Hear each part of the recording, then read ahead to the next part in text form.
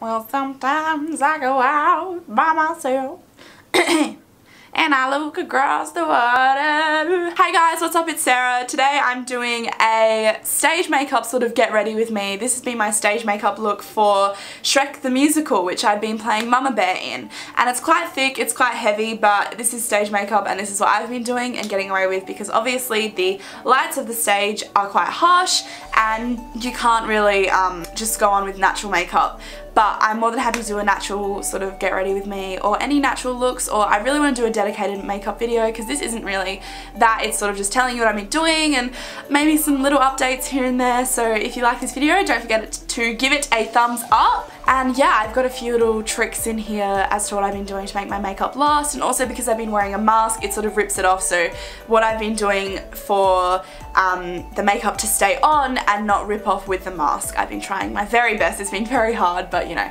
what can you do? Um, there's only so much your face can get rubbed on when you have makeup and then it'll come off. So yeah, ignore the state I'm about to be in in like three seconds. three, two, one. I'm using some of these like techniques that I have learnt from YouTubers, just like in terms of like lasting power and not creasing and stuff. So I've only put moisturizer on my face and I'm going to start out with my eyes and because this is a get ready with me, I'm not going to zoom you up because I want to talk to you and I don't want you to just be looking at my eyes and then my mouth's moving but yeah, you get what I mean. Okay. So I'm just starting out with some of the RCMA No Colour Powder. I'm going to just be dusting a little bit of this over my eyelid just to get rid of any moisturizer, not moisturizer, um, oil. And then I'm just going to go in with a bit of MAC Painterly Paint Pot, Prolong My Paint Pot on my finger and prime my eyelids. This is the first time I've sat down and filmed for a while, so getting back into it, you know. Yeah, obviously I've been really busy with Shrek and stuff, and I haven't had time, but oh, it's over tonight. So tonight's closing night. I'm actually probably vlogging, so that might be coming as well soon. You know, I've been planning things, I just haven't been able to put them in action because of Shrek. It's been a really great experience and I have thoroughly enjoyed it. Okay, and then once that's sort of all even over my eyelid. I pull some weird faces when I do my makeup, so, you know, don't we all though? Okay, and then I'm just gonna set that with a bit more of the RCMA powder. I sort of go ham on this part because who wants your makeup to crease? No one. No one wants their makeup to crease. Yeah, this is like a theatre makeup thing. Well, this is my interpretation of what theatre makeup is. Um, I haven't done much research on it, but this is what I've been doing and I think I've been getting away with it. I know this, the girls have sort of similar to me, so, you know, that's all good. Okay, now that we're all primed, um, it's so weird. I feel like I'm so close to the camera, but I'm like far away. So now that we're all primed, I'm I've been using the Too Faced Chocolate Bar palette and I'm just going to take this on like a little Real Techniques blending brush I guess. I don't know, I always use this one in my crease but... And I really need to wash my brushes, sorry guys. Okay, so I'm taking Hazelnut. I'm not really being light-handed with this because it does have to be quite dark because as I said it is theatre. So I'm just sort of taking that as my transition shade. I hope everyone had a good Australia Day though. I know, well I did but like at the same time. So my older brother had some people over which was nice and sort of had lunch, barbecue you know, typical Australian thing to do. Oh, that looks very, so weird how like the camera picks up different, like to me it doesn't really look like I've got that much on, but according to the camera, I do.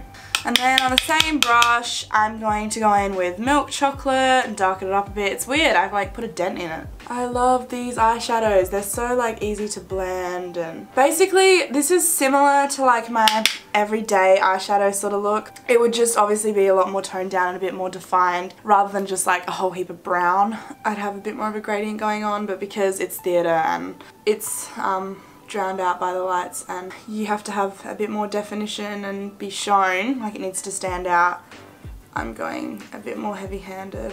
And then on this brush, which is literally like my favourite brush, apart from that one I used for the RCMA, RCMA powder, it's the Models Prefer 120 Crease brush. I'm just going to sort of try and diffuse a bit of that colour up near my brow bone with the hazelnut colour again. On this little savvy brush, I'm going in with Haute, what no, semi-sweet. I thought it was a Haute chocolate. No, it's semi-sweet. Okay, I'm just darkening, darkening it up again. Yeah, sort of on the outer portion of my eye. Are you guys enjoying my videos? Like I really want to know. I'm trying my best to put a lot of time and effort into them and I do have some things planned which I'm excited to film and because I have my own camera it's a bit easier. It's just a bit annoying because like in terms of like vlogs and stuff I can't really vlog how I would like to because this camera is like a Canon camera and it's quite big and bulky you know like you got to attach the lens and the mic, I, I, mean the microphone I wouldn't worry about so much if I was using it to vlog but it's just annoying so for vlogging I've been trying to borrow my mum's camera. She doesn't want me doing that too much but like it's just like a little um, digital one. It's what I used to film my videos on before I got this camera. So now that's like fairly dark I'll just go in with my lid shade on another one of these Real Techniques brushes. I'm just using white chocolate. And now on this sort of like pointed dome brush, definer brush thing, I don't know what it is, um, I'm going to use Triple Fudge to darken up the outer portion and crease even more. Blend, blended, blend. Just blend that out. I don't know why, I don't know if it's because my eyes are different shapes, but I feel like one eye always looks like slightly different to the other one. I'm not doing too bad today, but... Okay, that's looking not too bad if you ask me. Give you a little look-see. It doesn't look that blended, but I'm telling you it is. And okay, if you haven't noticed, I'm a naturally, oh my god, I'm a naturally very red person. My face is just red, my skin is red, I'm known as a tomato. My back is red at the moment because I'm very badly sunburnt. It's just annoying because I always have, what is it called, rosacea? Yeah, that's what I thought. Okay, now for my favorite part. I'm going to do some liquid eyeliner with the Maybelline Hyper Sharp Wing Liner. Okay, I'm gonna go off camera and do my eyeliner and then come back because I need something to rest my elbow on and I can't just have like my elbow like dangling. It's hard. Okay, cool. See you guys in a sec. Okay, now that that's done, I'm just going to curl my eyelashes. Now we're going to go in with some mascara. I've been using this, I think I talked about it, the Essence Lash Princess one. I think I've talked about it before. And I will be putting on fake lashes today. You can see already how much my, that has opened up my eye. I'm doing the 12 week challenge with my gym, which is Good Life. And basically, for 12 weeks, you get workouts, boot camp, you, well you go to boot camps, um, you have consultations with trainers and obviously I already have a trainer and my trainer recently just became the fitness director of my club so she's like bomb and I'll be seeing a lot of her for the next, well, it starts February 10th and then, well obviously from 12 weeks from there I'll be seeing a lot more of her. Um, I'm now going to put on some eyelashes. So this is the Duo Eyelash Adhesive in the clear one. They're the Model Rock Smoky, Smoky Velvet lashes, just if you wanted to know. I'm fairly sure they're like double stacked lashes. I'm actually getting better at putting lashes on though because I've had to do my makeup so much recently. I've had to put lashes on and obviously the more you do things the better you get at them because practice makes perfect, right?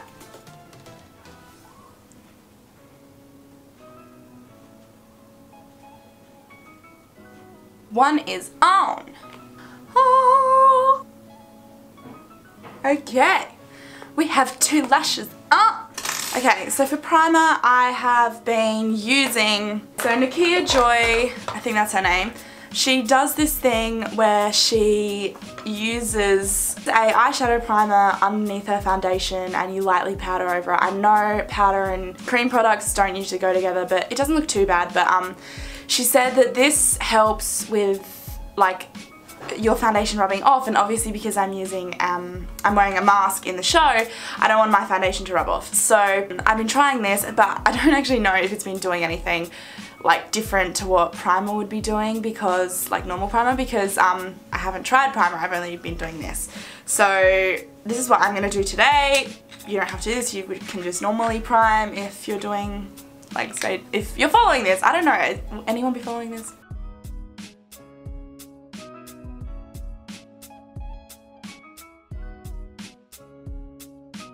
go in with a very light layer of powder. So pretty much I'm going to dunk my brush in the RCMA powder, tap off most of it so there's only like a small amount on there like that. Lightly dust this over just to sort of set it in place.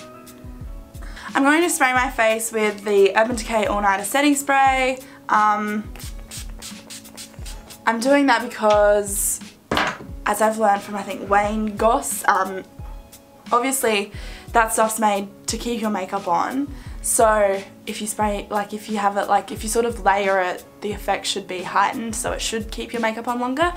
But yeah, and then also takes away the powderiness of the powder, so hopefully it won't look cakey. I'm just going to go wet my sponge and then I'll be right back and we will do foundation. So I'm using my favourite foundation, which is the L'Oreal Infallible 24 Hour Matte Foundation in the shade 11 Vanilla, which is the lightest shade. Um, I'm using this with my Real Techniques sponge and um, I put it on the back of my hand because it warms the product up a little bit and therefore it sinks better into the skin. If you're still watching at this point, I want you to comment below and tell me what is your favourite video of mine? What have you enjoyed the most watching? What do you want to see more of? Just let me know. Comment below.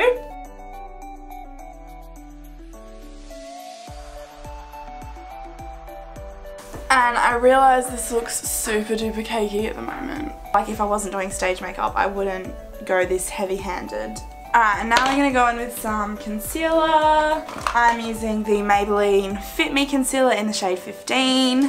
In terms of this primer trick, I definitely, like, if you are dry skinned, I would not. In general, if you want your makeup to, like, be thick as hell, the primer trick's good, but, like, I definitely, um, would stay away from it. And especially if you have dry skin, because it does make you quite cakey, and, like, for me, I'm, I have oily skin, so the oil sort of like help take away the cakiness. I don't know, I feel like it does. I feel like the oil obviously makes your skin look dewy until you get like really oily.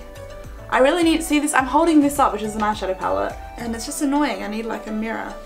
I will invest in one. I'll get one from Kmart. Kmart's the place to be.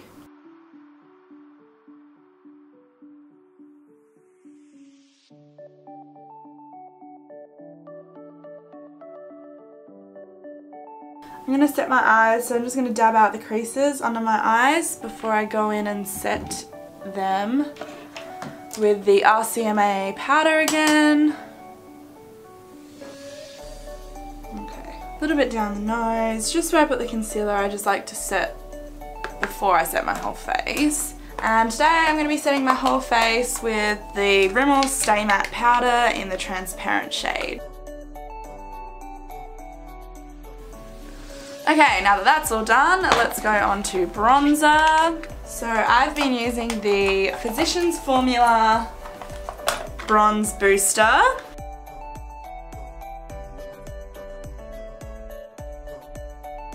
Now we're going in with some contour.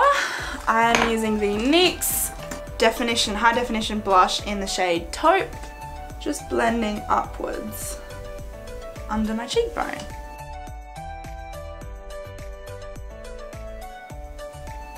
Okay. And I also like to take this on a sort of little eyeshadow brush and put it down sides of my nose, just a little bit of nose contour. Okay, and now we're going in with some blush. I'm going to be using the Milani Baked Blush in Luminoso. Look at my nose. Milani Baked Blush in Luminoso. And again, going in quite heavy-handed with the blush. Theatre people seem to be all about blush, so, you know, that means I am too. I might just do this off camera, I'll just let you know what I do. So at the moment, I was really into pencil brows, like using um, eyebrow, eyebrow pencil or pomade, but or pomade as some people say. But I've actually been using eyeshadow as um, brow powder. So I've been using this one from this Sephora palette. I have no idea what it's called, but it just looks like this. I've been using this shade up here for my eyebrows and yeah just filling them in with that so I'm to go and do that just with a little angled brush and I'll be right back. Okay, so I just filled in my eyebrows. I think they're looking pretty good today. I'm having a good brow day. And now I'm gonna go in and do my lash line, um, just like underneath my lash line. So I'm just gonna take one of those blending brushes we used before, go in with salted caramel just below the lash line. I'm going with semi-sweet and just to darken up right near the lashes. I'm gonna line my waterline with the Inglot Black Gel Liner. Now, I didn't think I could put gel liner in my waterline, but it actually works really, really well. And I feel like it's easier than a pencil, like it just doesn't, it comes out a lot blacker. My eyes always water when I do this. I'm going to put some mascara on my lower lashes now. I'm going to do this a bit weirdly. I've been using this L'Oreal Telescopic Carbon Black Mascara or whatever, but I don't like it. Some, like, for a while, people on YouTube raved about it, but it's just, it's, like, I've had this for ages, and it's so, like, wet. Sorry, my head's, like, all the way down here. to, to sort of use it up, I sort of go in with it first, and then I fan the product out with, like, one of my older CoverGirl mascaras. The Clump Crusher one, because the brush, I think, does a better job. I always make a bit of a mess when I do my lower lash line, but don't worry, it's an easy fix. I saw some girl doing her mascara the other day and she like went to wipe like a dot away when she got it on her face, straight away. Um, and I was like, oh my god, but what you should do, let it dry and then get a Q-tip or something and um, usually it will just flake off. I'm just to put some um, baby lips lip balm on because it sort of tints your lips and it's hydrating and I like it. So Okay, now I'm going to spray my face with some Fix Plus and then highlight using MAC Soft and Gentle. It's my favourite highlighter as you would know if you have been watching my channel. So the first thing I like to do is highlight my brow bone while my face is still wet.